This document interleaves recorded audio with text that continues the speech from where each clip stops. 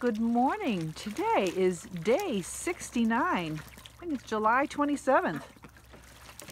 And I just did one of my morning chores of filling up the girls' pool with some fresh water. Let's see if this scares them when I take this out. Yep, it's gonna scare them. they are such scaredy birds. Any little movement, fast movement frightens them. But my morning routine is not too difficult. I come out in the morning, I address them before I see them so that so I don't surprise them when I show up because they're still scaredy ducks. Fast movements frighten them. Right? They do. They do. But they are just absolutely still delightful. A few days ago they started lifting off the ground a bit with their wings. I don't have any really good footage of that yet. I hope to maybe get some today.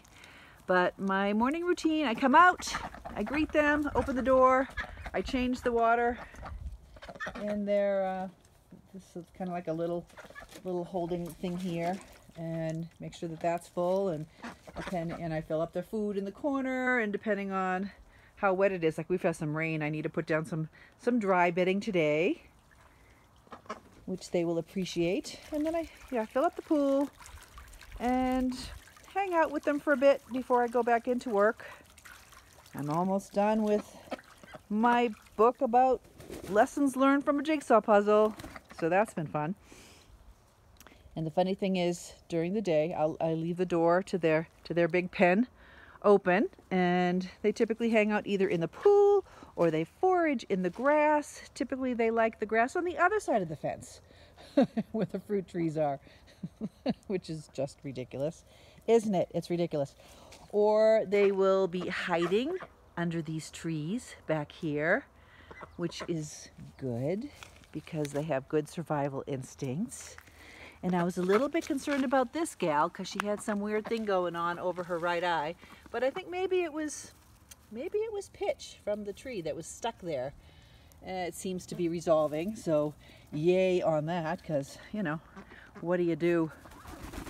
What do you do? Oh, such pretty wings. Such pretty wings. Look at those chevrons. Oh, you are just the prettiest little birds. You know how to use your wings. You can use your wings to get out of there, you know. I haven't done much training with them yet as far as jumping through hoops because I've been busy writing my book.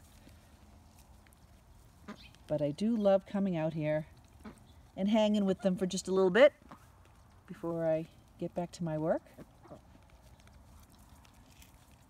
And yeah, what can I say about what used to be, not too long ago, 69 days ago, five little khaki Campbell ducklings.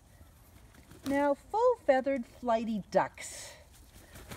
All we need to do now is convince them to start laying eggs. Right, girls? They don't even know. Oh, I just love their wings.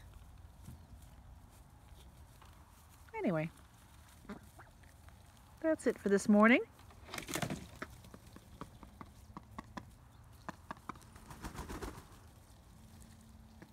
unless they're going to fly across the grass. But I don't know. They don't seem willing to do that for me right now, do you? No, time to preen. Alrighty. we'll catch you later. Bye.